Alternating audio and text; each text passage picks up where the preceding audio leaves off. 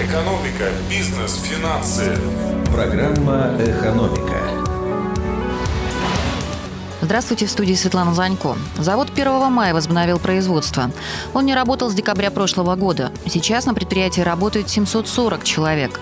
Привлечении заказов на предприятие областные власти отмечают помощь федерального центра и заявляют, что эта работа будет продолжена. По словам исполнительного директора завода Александра Чурина, предприятие возобновляет конструирование новых образцов техники, чтобы осенью представить их на железнодорожной выставке в Москве.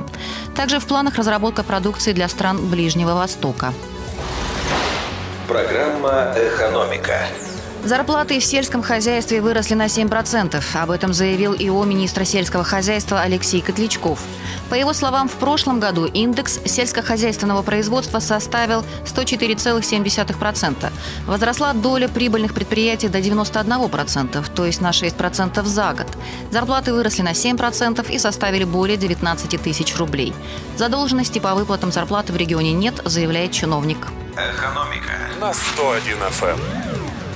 НДС может вырасти до 22%. С таким предложением выступил министр финансов Антон Силуанов. При этом министр предлагает снизить размер страховых взносов до такой же цифры. Как заявил глава Минфина, рост взносов влияет на расширение теневого сектора экономики, а эта мера поможет снизить нагрузку на бизнес. Однако бизнес-сообщество с таким предложением не согласно, пишет портал aikirov.ru. По его данным, предприниматели уверены, что внимание нужно концентрировать не на увеличении налоговой нагрузки, а на том, чтобы эту нагрузку несли все субъекты экономической деятельности. Также бизнесмены советуют заняться контролем государственных и муниципальных расходов. Помощи бизнесу от изменения ставки НДС не будет, считает налоговый консультант, директор уполномоченной бухгалтерии «Удача» Диана Вахрушева. Бизнесмены и так не хотят платить этот налог всеми правдами и неправдами, отмечает она. В завершение о валютах. Доллар сегодня 59,13, евро 63,27. Светлана Занько, новости экономики в Кирове.